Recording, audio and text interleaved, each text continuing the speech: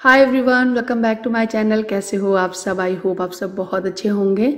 और गाइज़ मेरी बहन जब आई थी तो देखो क्या क्या लेकर आई थी। मैं इस वीडियो में प्रॉपर अच्छे तरीके से तो नहीं दिखाई हूँ। अगले किसी वीडियो में मैं आप लोगों को सारा चीज़ें दिखाऊँगी। फ़िलहाल देखो मेरी मम्मी ने क्या क्या भेजा है मेरे लिए। वैसे तो मैं कोई भी चीज़ नहीं मंगाती हूँ मम्मी से। हमेशा ये कहती हूँ, आपको कोई ज़रूरत नहीं है देने की। जो कुछ है मेरे पास बहुत है और मुझे नहीं चाहिए, लेकिन मम्मी है पता नहीं क्या क्या सोचा करती हैं। उनको पता नहीं क्यों मेरे घर में मेरे गमले नज़र नहीं आ रहे होंगे तो मेरे लिए गमला रख, डालने मतलब ये गमला है प्लास्टिक का, वो भेज दिया है। अब वो भारी वाला जो होता है ना, पत्थर का, वो तो राखी ला नहीं पाती, इसलिए उन्होंने प्लास्टिक का लेके भेज दिया है। एक ही बर्नी दे दी है, उनको ये भी लग रहा था कि रिंकी के पास बर्नी नहीं है अचार रखने के लिए। तो अब मुझे बढ़ने की ज़रूरत थी, लेकिन ये बात तो मुझे ही पता थी केवल मेरी मम्मी को कैसे पता चली, मुझे क्या पता? ये सब चीज़ें भेज दी हैं। और ये आध्या जो ड्रेस पहने हुए है, ये आध्या के जन्मदिन के लिए उसकी नानी ने भेजा है।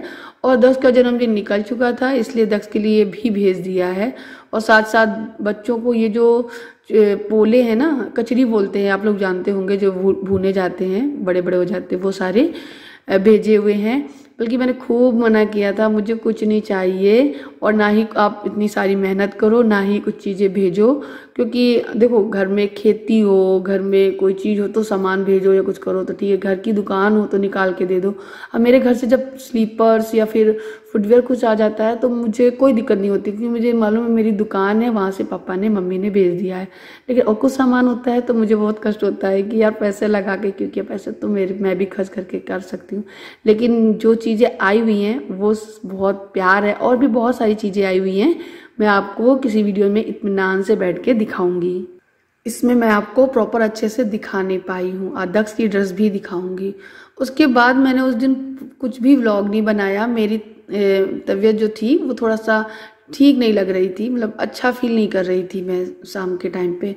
फिर ये दूसरे दिन की शाम है दिन भर मैं ऐसी ही बीमार सी पड़ी रही और ऐसा लग रहा था कि मैं ना ही उठ पाऊँगी, पैरों में सूजन सी थी।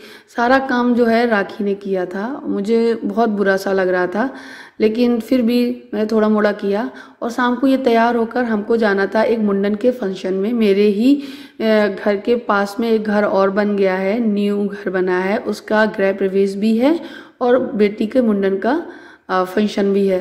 तो हम लोग ये सोच रहे थे कि गृह प्रवेश के हिसाब से लेके जाएँ सामान या फिर मुंडन के हिसाब से बेटी के लिए। तो मैंने बच्ची के लिए ही कुछ गिफ्ट पैक करा लिया है अपने हस्बैंड से। मैंने बोला पैक करो, चलो, चलते हैं। मेरे हस्बैंड अभी वहीं पे थे और वो शाम को जल्दी ही पहुँच गए थे वहाँ पे, क्योंकि इनके भी स्कूल के टीचर्स वगैरह हैं, वो सब वहाँ पर आए हुए थे मित्र।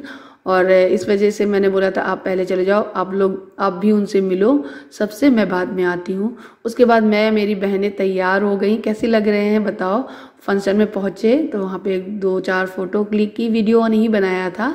रील्स बनाई थी। एक, दो आजकल चल नहीं रहा है, वो गोल गोल राउंड राउंड घूमता है। उस पर रील बनाई थी अपने हस्बैंड के साथ में।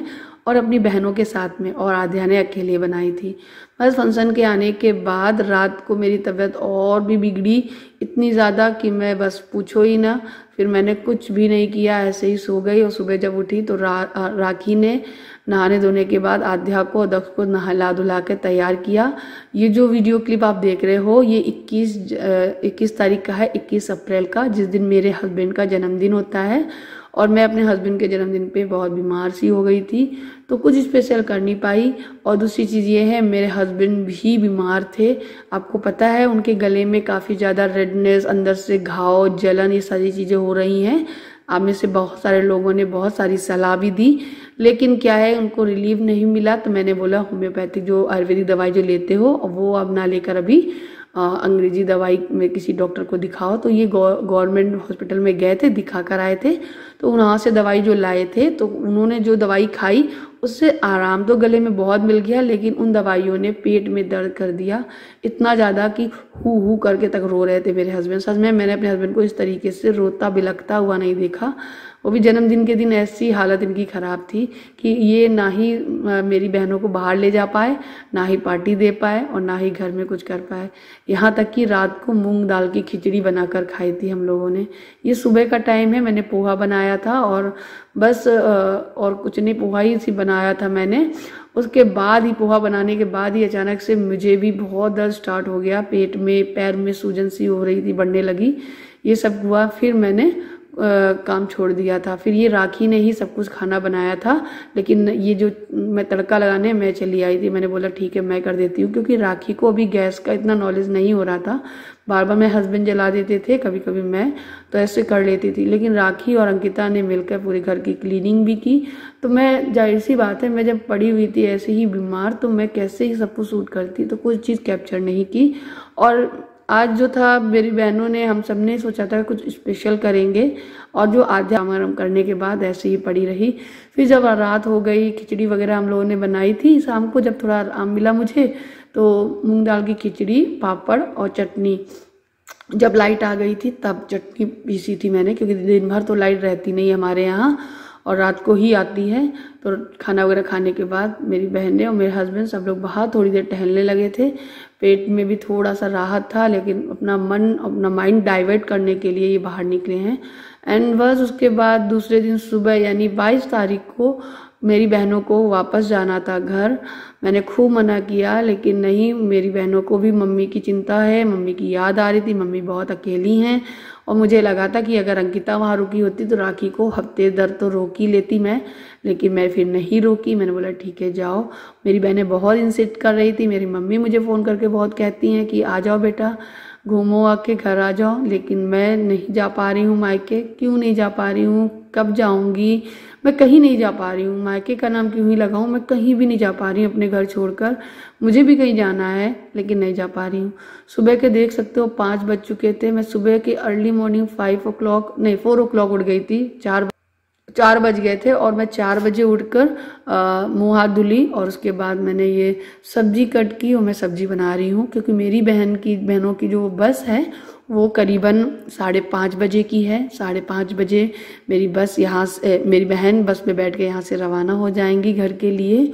सुबह इतनी जल्दी इसलिए जा रही हैं, दोपहर में बहुत धूप हो जाती है, ट्रैफ़िक हो जाता है और जब बस से, दूसरी बस से जाएँगी तो बहुत ज़्यादा ट्रैफ़िक का सामना भी करना पड़ेगा और धूप में बहुत परेशान होंगी, इसलिए मैंने बोला था। मैंने क्या राखी ने खुद कहा था कि मैं सुबह वाले ही जाऊँगी, सुबह वाले से। और वो अक्सर जब भी आती है, वो सुबह वाली बस से ही जाती है। तो सुबह का जो उसका नाश नाश्ता खाना जो है वो मैंने बना दिया। यही है, वो एक एक पूरी खा ली थी और बाकी का पैक करके ले गई थी। और मेरे हस्बैंड को और बच्चों को भी स्कूल जाना था तो मैंने यही सब कुछ मेरे अपने बच्चों के टिफ़िन में भी पैक कर दिया था। मन बहुत उदास था अच्छा नहीं लग रहा था कि जब मेरी बहनें आई, सब कुछ ठीक था, उसके बाद मैं दूसरे, तीसरे दिन ही बीमार हो गई और लगातार सारा काम मेरी बहनों ने सब कुछ किया। मैं उनके लिए कुछ कर नहीं पाई, मैं उनको कहीं बाहर भी नहीं ले गई, मैं कोई चीज़ नहीं कर पाई, मैंने कुछ भी नहीं किया तो मुझे बहुत बुरा लग रहा था। सारी चीज़ें मेरी बहनों ने की और कुछ इन्जॉय ज़्यादा नहीं कर पाई। हाँ हालाँकि वो फ़ंक्शन था उनके घर में एक लोग यहाँ पे, पड़ोस में तो वही ले गए थे। मैं बस, उसके अलावा कुछ भी नहीं। और फिर मेरी बहनों का जाने का वक्त भी आ गया था। ये जो पल था वो बहुत इमोशनल था, लेकिन अगर मैं रो देती तो मेरी बहनें बहुत रोती जाने में और बस में भी बहुत रोती, क्योंकि मुझे याद है, एक बार जब राखी अकेले आई थी और जब सुबह पाँच बजे गई थी तो अकेली थी, अंकिता नहीं थी तो वो बहुत रोई थी मैं भी रोने लगी थी तो हम दोनों लोग रोते हुए इसको विदा किया था और जब मैंने फ़ोन किया, बस में कहाँ पहुँची हो तो बस में भी मैडम रो ही रही थी और जब देखा दक्ष और आध्या सो रहे उनको खूब सारा प्यार पुच्ची देकर, उनको खूब सारा प्यार देकर आँखों में आँसू भरे हुए वो चली गई थी। उसके बाद मैंने यहाँ पे ये सिल्वर टिफ़िन जो आते हैं, वो निकाले थे तो बोली कि रहने दो, इसमें मत पैक करो। तो ये बॉक्स आते हैं ना, इसमें मैंने एक में सब्ज़ी, एक में पूड़ी पैक कर दी, ये थोड़े स्टडी हैं मतलब टाइट है तो डब्बे डब मतलब डब्बे जो थोड़े से हाँ, ठीक है। तो ये ख़राब नहीं होगा। अचार मैंने रख दिया था थोड़ा सा मिर्च का और मिठाई जो राखी लाई थी ना उसी से मैं रख रही थी। मैंने एक टिफ़िन में मिठाई थोड़ी सी करके रखी थी रास्ते में खा लेना। पता नहीं क्या सोचा मेरी बहन ने कि मैं लेकर आई हूँ और ये नहीं ले, लेना है मुझे। ये तो मेरी मम्मी ने दीदी के लिए भेजी है और वो वापस मेरी फ्रिज में ही रख गई थी। मुझे बहुत गुस्सा आया था कि राखी तुमने ऐसा क्यों किया लेकिन नहीं। वो बहुत सोचती है मेरे बारे में घर वालों सबके बारे में। वो इतना सब कुछ सोचती है, घर में लगातार सारा काम करती है। मतलब वो आई है तो अब घर का, वहाँ का जो माहौल है, काम करने का, हर एक चीज़ का सब बिगड़ा पड़ा है। यहाँ से जाके वो ऐसे जुटेगी, क्या बताऊँ? मेरी मम्मी याद बहुत कर रही थी। लेकिन एक चीज़ है, मेरी मम्मी ये कह रही थी, रहो बेटा, और रहना, और रह लो। लेकिन राखी का फिर नहीं लगा दिल।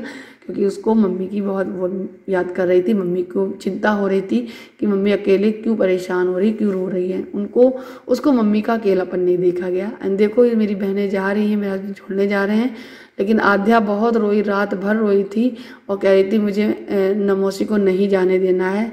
लेकिन क्या कर सकते, मौसी गई और आध्या सुबह जल्दी उठ भी गई। वो कह रही थी कि, राखी कह रही थी, मैं जगाऊँगी नहीं बच्चों को, लेकिन आध्या इतनी वो है कि सुबह ही उठ गई। सुबह वो रोई नहीं थी, उदास थी, लेकिन मौसी के जाने के बाद वो रोई थी। यहाँ पे मैं बैग दे रही हूँ, इस तरीके से जा रहे हैं। आप लोग ये मत सोचना इस तरीके से क्यों जा रहे हैं। एकदम खाली रोड है और पाँच दस मिनट लगेगा, बस पहुँच जाएँगी बस स्टैंड तक। और बस आराम से बहनें बैठ के चली गई थी। कोई दिक्कत नहीं हुई थी, मेरे हस्बैंड छोड़ाए थे। इस बार मैंने अपनी बहनों को कुछ ज़्यादा दे भी नहीं पाया, कुछ कर भी नहीं पाया, कहीं बाहर भी नहीं ले गई। और सच बात यह है, मेरी परिस्थितियाँ थोड़ी सी ठीक नहीं है, जो मैं उसको थोड़ा सा कैश वगैरह भी दे पाती। इस टाइम मेरी सिचुएशन ही बहुत ज़्यादा ख़राब थी और ये बात मेरी बहनें बहुत, मेरे घर वाले बहुत अच्छे समझते। कोई समझे या ना समझे मेरा मेरा मायका, मेरा, मेरी बहनें बहुत अच्छे से सब चीज़ें समझती हैं, मेरे हस्बैंड को और मुझे सबको। और ये बात मेरे हस्बैंड बहुत अच्छे से जानते हैं। और मेरे हस्बैंड बहुत ज़्यादा अच्छे हैं, बहुत ज़्यादा, बहुत बहुत ज़्यादा। खैर, आद्या बहुत उदास हो गई थी और बहुत रोने सी लगी थी। मैंने उसे चुप कराया, मनाया और फिर आद्या को मैंने स्कूल जाने के लिए मनाया। वो मतलब उदास हो गई थी बहुत।